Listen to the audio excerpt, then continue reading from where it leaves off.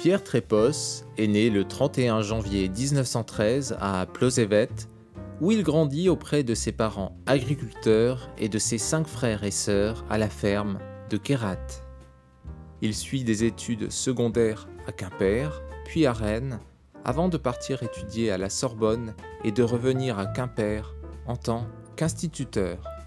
Après son service militaire, il obtient une licence d'anglais puis devient professeur licencié, d'abord délégué ministériel, puis titulaire au lycée La Tour d'Auvergne.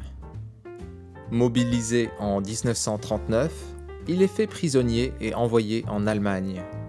À son retour de captivité en 1943, il s'engage dans la résistance, ce qui lui vaudra d'être par la suite décoré de la Croix de guerre.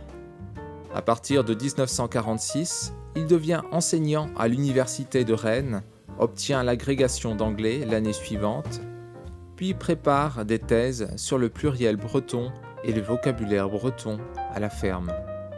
Dans le même temps, il anime avec Pierre Jacques Elias des émissions en langue bretonne sur Radio Kimer sous le pseudonyme de Guilou Vian. Pierre Trépos soutient sa thèse de doctorat en 1956 et est nommé professeur titulaire en langue celtique à l'Université de Rennes en 1959. Il crée et devient directeur du Collège littéraire et universitaire de Brest, qui deviendra par la suite la Faculté des lettres. Il publie plusieurs ouvrages, une grammaire bretonne, d'autres mœurs sur la vie des prisonniers de guerre et une étude sur le catholicum premier dictionnaire trilingue breton-latin-français publié il y a 500 ans.